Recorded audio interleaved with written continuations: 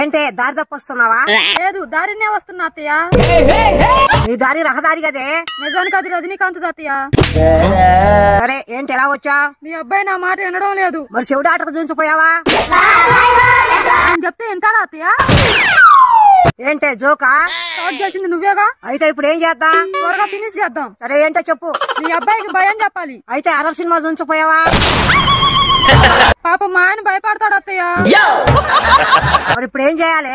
మా ఆయన్ని మంచిగా మార్చాలి. అయితే కొత్త బట్టలు వేద్దాంపా. నేను కూడా వేసుకుంటా అత్తయ్య. అలాగదే ఇప్పుడు మీ ఆయన ఏమన్నా ప్లేట్ మార్చాడా? లేదత్తయ్య రోజు అదే ప్లేట్లో తింటున్నాడు ఇప్పుడు మీ ఆయన చేసిన తప్పేంటే అసలు ఒక తప్పు కూడా చేయట్లేదు అత్తయ్య. ఇప్పుడు నీకేం కావాలి? నా భర్త నా మాట వినాలి. వినకపోతే? వాయిస్ రికార్డ్ చేసి పంపిస్తా.